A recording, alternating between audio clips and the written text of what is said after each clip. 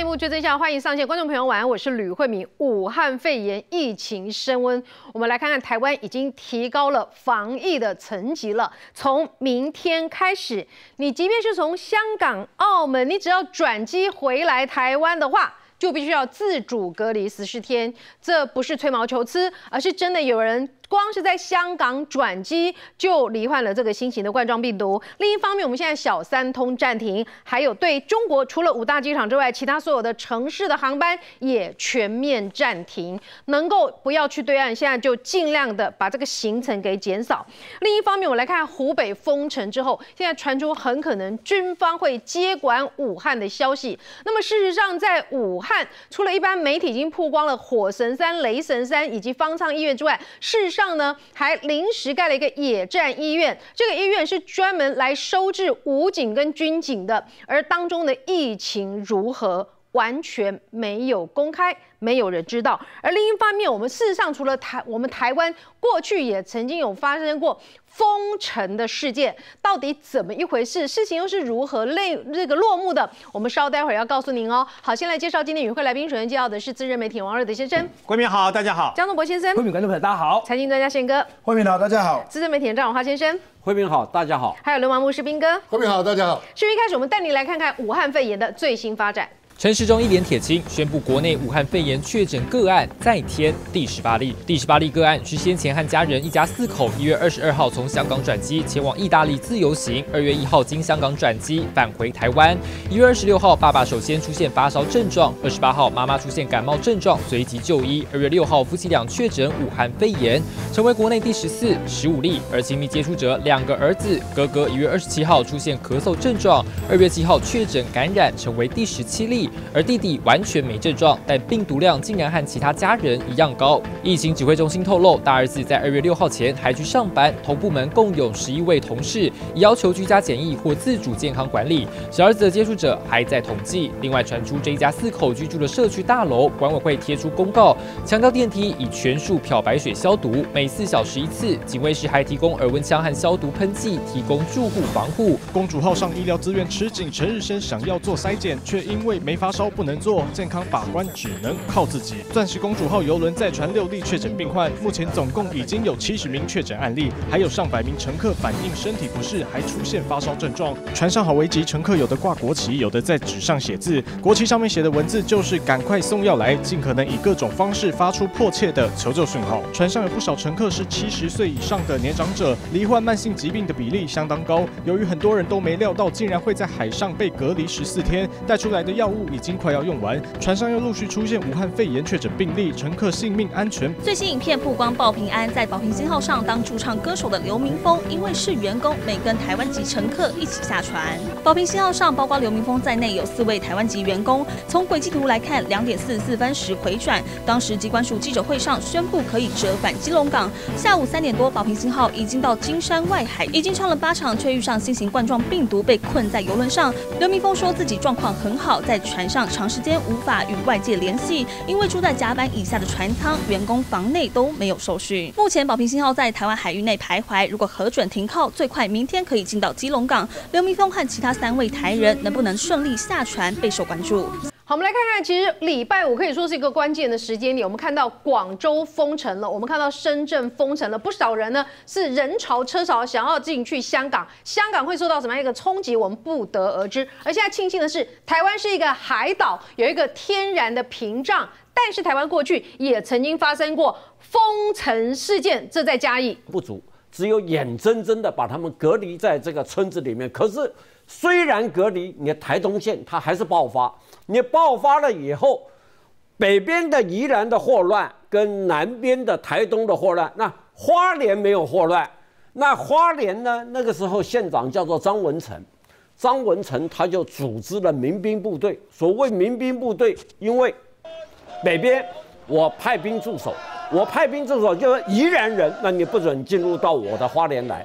然后南边的台东，他说你台东人你也不准进来，但是台东。他还有一条小火车，他就在台东那边设立关卡，把那个铁轨啊拆掉，就是说你最多只能开到台东县境内，你开不到花莲来。这样子封城，各位小啊封禁，整个花莲县的封禁，各位晓不晓得封了多久？封了将近两个多月。那封了两个多月，那花莲的物资其实并不缺乏。为什么并不缺乏？因为它旁边就是日本，就是美军占领区了，就是靠近哈与那国岛，那一些美军的物资源源不断的送到花莲来，但是宜兰跟台东的却享用不到。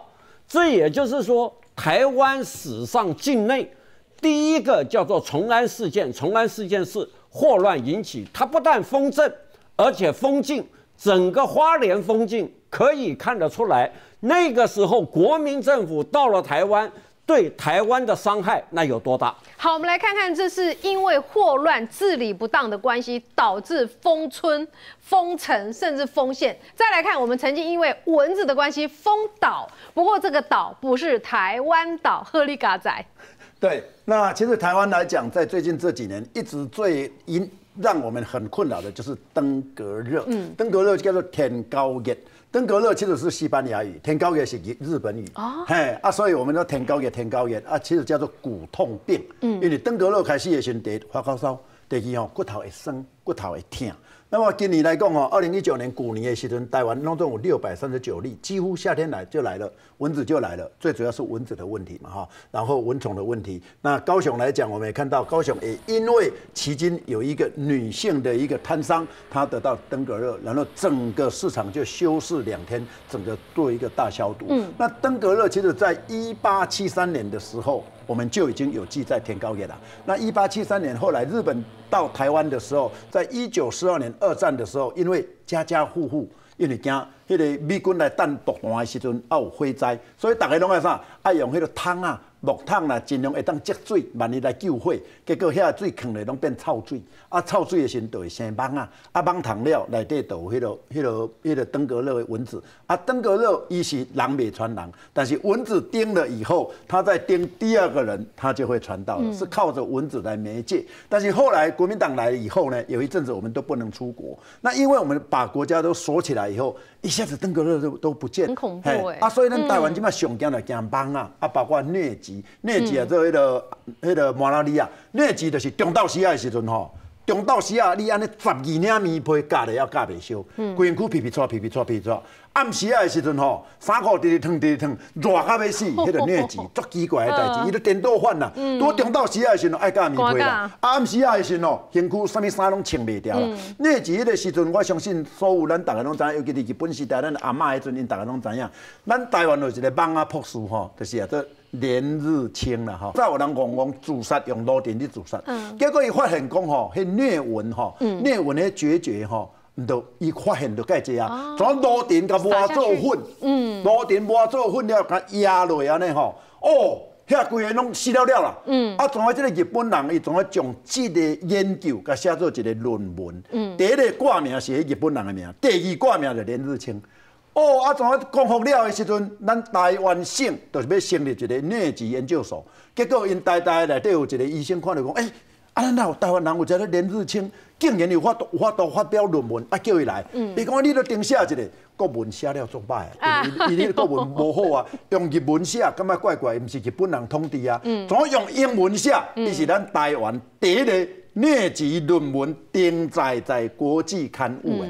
啊，迄个时阵因为公布的时阵吼。迄研究做公务员拢无啥钱啦，但是台泥迄边吼，台湾水泥伊要应答人员哦，薪水有够好，伊就因老爸讲，哎，你去遐去遐食头路，即个去薪水是这边的四五倍啦。哎呦！但是食头路食食，伊就直直感觉讲吼，伊要去读英文啦。嗯。啊，要读英文的时阵，总要去考掉师大，咱即摆师范大学，总要读英文了，读读的，伊迄个时阵多伊退伍转来。咱台湾省成立一个疟疾研究所，嗯伊从百年要死掉要去疟疾研究所了。因老爸讲你读个歹，啊你死了薪水遮高薪，你毋食你怎去啊？哦，两个爸仔囝冤家冤家家，伊从连夜从离家出走，第一天倒转来，因老爸那认了，那无要紧，这个囡仔对帮啊对帮啊较有兴趣，从来入去遐。到这阵吼，到退休的底下退休啊，现在颁给他一等奖章，是包括我们以前跟西辉、圣多美那时候跟他有建交的时候，迄规个贵州的那种疟疾啊，一直给他三个月，本来遐病人拢无了了，拢退呀，伊都有法度咧，伊足厉害，真的伊看到很厉害蠓啊，伊就知影这个蠓啊用什么药啊。再来看看，监狱不是本身就已经一个封锁的状态了吗？到底发生什么事情？监狱也要整个封监？我记得这件代志发生在二科，是一个礼色，礼色礼貌的礼礼色。不过刚开始的时阵是一个下班，迄、个下班吼差不多十五个人，十五个人的时阵吼，头先有差不多四个人，四个人发现讲身躯那会痒安尼，啊痒的时阵吼，点么一直聊一直聊嘛，啊聊了的时阵吼，因怎迄个管理员吼，就甲送个医务室去啊。啊，你知影较早吼，医务室吼，医官、军医就对啦，拢是拄则刚学校毕业，然后考上医官，啊，没什么经验的，啊就派去医务室去。嗯，所以吼，那个时候这四五个去看的时阵吼，伊认为讲啊，这个就皮肤病啦，啊就。迄个机警委有讲吼，摕咧抹抹抹抹的好啊。啊，咱军事监狱吼，它是比较密闭，因为困，即间下房困十五个，食生活啥拢内底。暗时七点就爱出来走人，走人是整个旅社一两百个坐咧遐看电视的，坐遐看电视，所以就开始为遮开始预团去啊。预团一个下班拖过一个下班，一个下班拖过一个下班哦。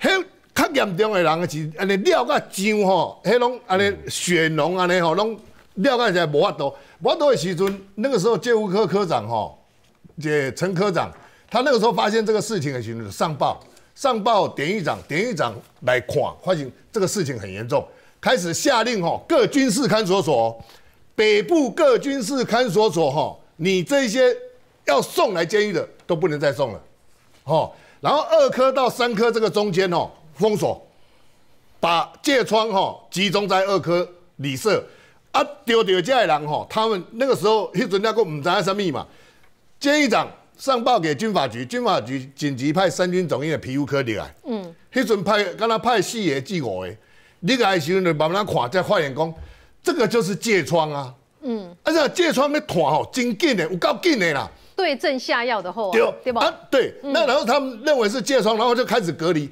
一寡较严重的吼，流脓流血的吼，拢用美国仙丹。拢用美国仙丹，嗯美国仙丹因为拢发炎嘛嘛，所以对美国仙丹落去，然后把这些人隔离，那剩下的就是旅社全部空出来，移到别的社房。你知影无？迄棉被被单，衫裤、棉被，拢爱上个外口去晒。这些被单、衣服，他们穿的衣服拢上来，这个这个拢爱密封哦。密封上来，我洗衣工厂，因为我阵在洗衣工厂做干部嘛。嗯。爱个特别交代要用蒸汽，因为我咧洗衣工厂都有蒸汽嘛，容易洗，洗了后再个拍，了后才会当转来。嗯。所以迄阵吼，疥疮之乱吼开始了后吼，整个新店军事监狱吼，又是派一个老的、比较老的、有经验的医生，嗯，在那边当主任，嗯，你要做做主领，所以讲哦。军方吼，因在因在迄个迄个三军总医院吼，对于疥疮吼，对于疥疮，他们皮肤科对于疥疮哦，真的是有一套。昨天跟大家讲了一个续命仙丹，最好的方法就是多运动。今天再给大家一个续命仙丹，第二好的方法就是要晒太阳。尤其觉得说干嘛被干冒，喜欢晒一下太阳，家里的衣物什么尽量晒太阳，会减少很多的传染病。再来看看，这真的这算是什么？呃，疫苗之乱，台湾曾经发生过。嗯，慧敏，你想看，现在大家都在致力于武汉肺炎的药物跟疫苗，但讲到疫苗，大家晓得台湾曾经发生过疫苗引爆的政治风暴。嗯，大家还记得吗？尤其是五年级生，好，那个一九六零年代啊，我们小孩子一旦发烧，大家都很紧张。那时候不是怕肺炎，是怕说他发烧之后，然后不良于行，哦，小儿麻痹症啊，嗯，严重的终身会残废。好啦，那怎么办？其实那时候医疗院所有引进。一九五四年上市的沙克疫苗，它最有效，好，可是要自费很贵，那怎么办呢？那时候疫情已经开始肆虐了，那个时候就在一九六四年。当时的台湾省的卫生处哦，是处哦，卫生处长徐子秋，他就透过他跟日本之间的私人情谊，就说：哎，你们这边有沙克疫苗，可不可以捐赠给我们？他还到处去演讲，发动募捐。其实他这样的行为，他他这样的举止，无非也就是为了当时我们的儿童嘛。OK，结果日本答应了，就在一九六五年年初，他捐赠了一百多万 CC，相当于五十到七十万人份。嗯，哇，那拯救多少儿童啊？好，可是日本有交代。这就是这里头的一个非常特别之处，嗯，其中有七万份过期了，嗯，不过日本特别说，那个时候世卫组织规定沙克疫苗的期限是两年，嗯，但我们日本人比较严格，嗯，我们规定一年，嗯，所以我们日本过期，可是国际没有啊，是。哦，而且他还特别讲，他说就算过期，就我们日本一年过期，但是其实只是它的沙克疫苗的效果会慢慢递减。但依然有效。OK，好了，那徐子秋认为没有问题，就进来了，进来也就都施打了。可是呢，人命明明是比较重要的嘛，但是却为什么会引发政治风暴？是因为当时的政治气氛是这样，你知道有一些少数的外省挂的立法诸公啊，嗯，他们很仇日，嗯，他们当时满脑子想的就是，哎呦，你们日本人这样，南京大屠杀，还有啊，嗯，你是什么单位啊？你台湾省卫生处不过是台湾省的二级单位，你竟然跳过中央，好，立法院就开始炮轰，那炮轰谁？但第一个是炮轰他是顶头上司。内政部长连振东，连战的父亲是，当时内政部长被炮轰的一头雾水。嗯，我唔知啊，我根本就唔知这下面代志。嗯，好，因为他没有被告知。好啦，那他就说好，下令去查。他现在知道啦，他就下去去查。就一查，再加上那个时候民间舆论也出现了，有一个基隆检疫所一位女工友呢，她就写信去检举，她说：“哎，日本这个疫苗是要谋害台湾。”刚我叫杨丢。嗯，好，现在我们大家都知道历史。已经水落石出嘛，更不加杨丢。那加上我刚才讲的仇日的外省挂的立立院诸公呢，就这些立委要群起炮轰，说你这个内政部长啊，你大权旁落啊。好，不止哦，后来还延烧到省议会，省议会的一些军系的，不用说也是外省挂的，而且也开始炮轰。观众朋友听一下啊，包括台大的、国防部的，还有院中研院的院士，十一人组成的调查小组，后来认定。日本说的是真的，而且他们也去检验了，没有问题。好了，那事情到这边，大家就看出来了嘛？到底是人命关天，是还是你政治立场优先？是我不言可喻，这样搞得人家就不做不错，我就干脆不要做事就没事啦，对不对？我做了，我好心好。后来大家看一下，嗯，大家都说某一点西郎，结果哇，刚好报纸突然登出了新闻，哇，震惊全台湾，说新竹有一个男婴呢，他呢就是注射疫苗。可是他死了，那 你看有问题吧？我告诉你，有时候真的，你记者舆论的新闻也是要查清楚。是，后来一查，他打的疫苗根本不是沙克疫苗，打错了，他是打别的疫苗。啊，那所以也就是说，你这死跟沙克疫苗无关嘛，对不对？那你不是又冤枉啊？可是可是你报纸一登了啊。好，当然啦，我讲了这么多。这个故事当然后来证明那些疫苗没有问题。是，那徐子秋的做法呢，也是人命凌驾于法规之上，因为他的确有些做法是违规的，嗯，啊，比如跳过中央啦，哦，比方说法规规定就是怎样要要要检验啊什么的，那当然没办法，救人优先呐，嗯，你知道吗？还没完呢，还没完，阿伟阿伟爽，后来还有人又继续。包括台南也有人提出检举，嗯，结果呢，监察院就说哦不行哦，仇人很多哎，我们要来纠正哦。五年之后，台南有人提出检举，五年之后都还要继续纠正啊，说你徐子秋渎职啊，间接杀害民主疫苗。再来看台湾曾经发生过大鼠疫，也因为这个鼠疫让不少人发了一点小小的横财。咱讲日本时代就好啊。一八九六年，日本那么在统治整个台湾以后呢，他开始跟杀这个抗日分抗日分子呢，然后在统治整个台湾的过程当中啊，就没想到鼠疫也带进来台湾，从哪里进来的？从来自于对面的中国厦门，当时的船呢，很多的民间的船是那种帆船的，进来了以后为带来们安兵杠礼拜。带进来这些老鼠，就是我刚刚说的身上有跳蚤的这些老鼠啊，带进来。所以从安平、台南开始发生鼠疫，然后紧接而来呢，从哪里开始？从这个淡水北部的淡水也进来了。你不然发现了一个不可思议的事，为下面呢，他们也发现鼠疫跟老鼠有关系，所以不准这个船靠岸。可是鼠疫还是船，为什么？他们发现有一次他们在船上终于发现。船虽然离岸边有一段距离呀，但是问题是，我们船不是都会有那个缆绳吗？哎，要弄住嘛。老鼠竟然沿着那个缆绳这样子过来，所以后来他们就规定，所有的缆绳不准用我们现在那个粗麻的缆绳，中间一定要有一段用北梯啊那种缆绳，因为老鼠抓不住，哎，拉落去，哎，拉落害来的哦。所以呢，后来怎么办呢？他们就想到一个办法，那既然是有老鼠来嘛，那我就消灭老鼠，你知道吗？那我怎么消灭老鼠？最好的办法，离呀，全民抓老鼠，包括小朋友。只要抓老鼠，可是你不是真的把那个老鼠整个抓来，因为那个尸体干什么也也很臭嘛。你把老鼠拿来呀，这个怎么带固定的一个地方呢？来放在那个地方哦，然后呢，一只老鼠发奖金，相当于一个小朋友三天的零用钱。然后呢，紧接而来，那大规模来了以后，一张一张彩券就给你。然后到后来实在老鼠太多了，那怎么办呢？那就抓来了以后，往会尿气啊尾，有没有？剪那个老鼠尾。那么这个彩券，半年摸彩一次。彩券奖金最高曾经高达一个公务人员半年的薪水，然后这是第一特奖，然后再来哈有这个头奖啊，比如三个月薪水、一个月薪水，用这种方式鼓励全民抓老鼠。所以呢，后来啊，你知道吗？当这个日本人呢，他一直到台湾都没有鼠，经过二十年的整治。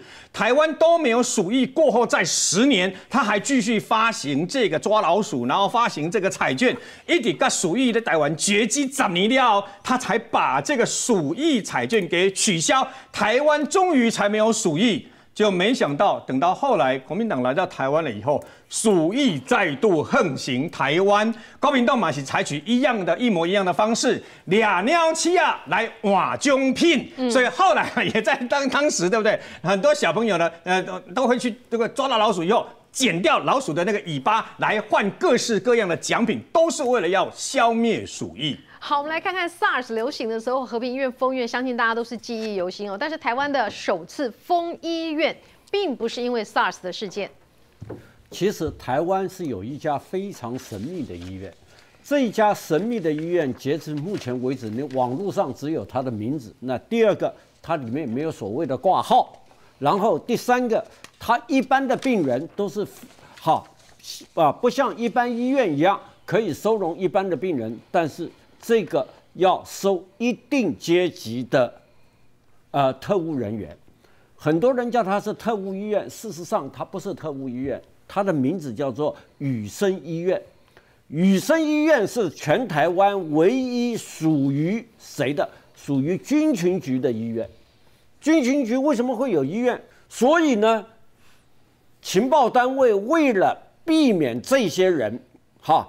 感染到其他人，所以他每一次回来都要住到医院里面去。那这个医院曾经住过两个人，他当然住了很多，他住了两个人。第一个人的名字叫做蒋经国，蒋蒋经国三番四次的进入泰缅边境，有一次，哈，有一次他忘了服用什么金鸡纳霜，就是我们讲的奎宁丸，他是忘了服用，忘了服用，结果在滇缅边境。被蚊虫叮咬，那蚊虫叮咬，他回到台湾刚刚好，没有什么事，结果呢，他就就发生了什么？一下子寒冷，哈，一下子热，这个叫做寒热症。那寒热症马上判定是疟疾，那台湾疟疾已经绝迹了，那你蒋经国得了疟疾怎么办？你送到一般医院，报纸登了出来，那还得了？那美军一定要查，说你为什么没有通报？因为那个时候台湾接受美元，所以呢，他们就把蒋经国送到这个医院，为了避免这件事情外泄，或者是这，或者是感染到那个其他人，就把他什么封院十天，就是封院十天，我除了治疗，其他人不准进来。只有主治医生可以自由进出。那这家医院的院长通常都是谁？通常都是蒋介石的御医。那因为不用通报，美国就不会过来查。还有一个，就是曾经台湾在滇缅边区有一个叫武汉部队，跟这次武汉肺炎的“武汉”两个字是息息相关。那本来这件事是没有几个人知道。但是美国海军传染病研究中心说，碰到类似病人，你一定要通报。况且台湾那个时候是联合国的会员国，所以美军就有一次听到风声，就到这家医院去。到了这家医院去，一个病人都没有，里面十几个大夫，然后他就告诉台湾，以后我每一年都要过来清查一下。所以各位要知道。大家都说和平医院是第一家封院的医院，其实不是，是，其实真正的是雨生医院，神秘的雨生医院，哎，神秘的雨生医院。好，我们来看一下哈，这个有时候武汉病毒刚开始发病的时候，你以为是一般的感冒，结果是误诊，误诊影响很大。来看国军这个案例，误诊之后导致隔离，没有错。那最近我们看到高中已经延期这个开学，很多人说，那这样的话会不会军营变成一个毒窟？因为军营。如果说万一有一个染病以后，那整个金领都垮掉了。那也有人说不会不会，因为我们国内啊这个金领管理的非常好，只要你一感冒马上隔离。但是有时候因为辅导长他根本不懂。因为军营里面的军医都是一般来讲实习医生，所以他其实对很多的一些所谓的流感等等，他也不是很懂，所以造成了一个新兵的这个呃，因为误诊的关系而逝世了。在二零一五年，有一个简姓的一个新兵，在九月入伍，入伍在哪里？林口的宪兵的一个新训中心。那林口新训新训中心就离长庚很近嘛，才七百公尺而已嘛。结果他是九月进去，十一月十三就要结训了。十一月八号，他发高烧，发到三十九点五度。那理论上来讲，发高烧这一定要么？一定要送长长庚不是最近吗？没有，在军队的系统里面，先送啊，先送军医，要送三种啦，不然就要就先就里面的一个医务室，然后就把它隔离。隔离以后，发烧一直不退。一直不退以后，那那个新兵他家他就打电话回家，那家里的人说，那你旁边得稍微看一下，又到联合医院，又到这个林口的一些小诊所看，看起来就像流感，看起来就像登革热，就是发烧，然后手脚无力，骨头会痛，然后都给这些药没有用，到十一月十一号，哎不行了，哦，那已经越来越严重了，整个人都快昏迷了，赶快送长庚，十一月十二号就死掉了。那当然，这个就造成了一个很大的一个医疗的纠纷在里面。他的整个病症跟流感、跟这个、跟所有的登革热完全几乎都一样，所以误诊率达到百分之九十。问题是，他得到的是另外一种叫做钩端螺旋。那什么叫钩端螺旋呢？钩端螺旋就是在一般动物的粪便里面，结果因为下雨的时候。然后那些粪便就会渗到泥土、渗到泥水里。那如果你今天打赤脚的话，你的脚刚好有伤口，中了。那中了以后呢，所有他去看的前面从八号发烧到十一号之前这四天，所有医生给的药，通通给错药。嗯，那这个钩状螺旋呢，它的死亡率百分之二十。那一般登革热是百分之零点零零五啊，那差太远了。所以说，我说有时候哈，我们军队真的要小心。我自己有一个例子，我的一个亲戚，那也是在这一家，也是在这个新兵训练，在林口的新兵训练，也是快要结束了。突然那一天晚上回来的时候，我发现他整个人都沙哑了。完全都没有声音了。我说你怎么这么严重？用重感冒啊，讲不出来。我说不行不行，赶快要送急诊。那因为他是北医的学生，我就直接送北医。送北医我就陪他去，结果医生说哦，这是肺炎。肺炎嘛，嗯要住十四天呢。那住十四天，军队规定你请假不能超过十二天了。超过十四天，所有你的训练要重来了。啊开玩笑，那时候我就直接找他辅导长，他辅导长还不行呢。后来我就拿了一个立委助理的一个一个名片出来，他说那这样可以啊，这么值钱哦。后来我就问他，后来立委啊，后来十四天好了嘛，我就问他说你当初是怎么的？一共。感冒嘛，然后就传染嘛，旁边就是有人感冒，就上上下铺旁边通通传染，传染以后就隔离嘛，隔离以后就是三个嘛，三个就直接就是军车小小吉普就载着到三军去，三军医院就看一看就开药了，就反正你是军人呢，就感冒你身体那么好，那都有什么问题？就开药，开药没有好啊，结果越拖越越严重，越拖越严重，还好那一天刚好回来，不然的话，哎，那会死人。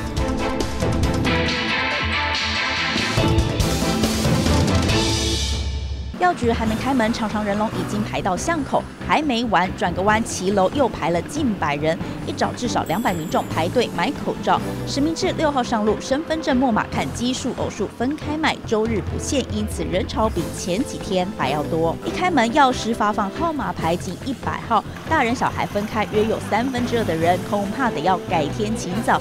明明是周日，药局内有五名药师上班，两个发号码牌，一个先在门口收钱，减少找钱时间，还有两个药师分两边读取健保卡和发口罩，加速流程，减少等待时间，二十分钟内通通搞定。卖场门一开，民众瞄准目标抢购卫生纸，不到几分钟，架上贴出“销售一空”的字样。疯抢口罩后，却出现疯抢卫生纸的怪现象，原来是因为网络上谣传口罩和卫生纸原物料相同。行政院长苏贞昌以这一张砸只有一粒卡层，登高一呼，别抢卫生纸了，因为卫生纸与口罩不仅用途不同，就连产地也完全不一样。卫生纸原料是短纤纸浆，口罩原料则是布织布，两者差很大。看看货架上还有卫生纸，真的不需要抢购。不过同样在卖场里的观察，这个货架上明明标注卖的是酒精，但却摆上浇花瓶，因为全民防疫作战，不止口罩、酒精、消毒产品，就连酒精喷瓶也卖到缺货。双手正反两面喷上酒精消毒，传承两百七七十五年的紫南宫假丁酒不为武汉肺炎疫情，民众照吃不误。民众摩拳擦掌，工作人员全程戴口罩，用一万公斤的土鸡肉、两万公斤的米酒煮出香喷喷的麻油鸡。人手一碗麻油鸡，丁酒广场挤满人，民众都是来假平安。尽管今年台湾遇到疫情，但紫南宫假丁酒民众挤爆来祈求新的一年平安健康。就连元宵节当天登场的云林吃饭蛋也吸引万人来品尝。马明山镇安宫五年千岁绕境吃饭蛋文化节，三百年来五谷十四庄轮流做东宴请大家假平安，民众也吃得尽兴。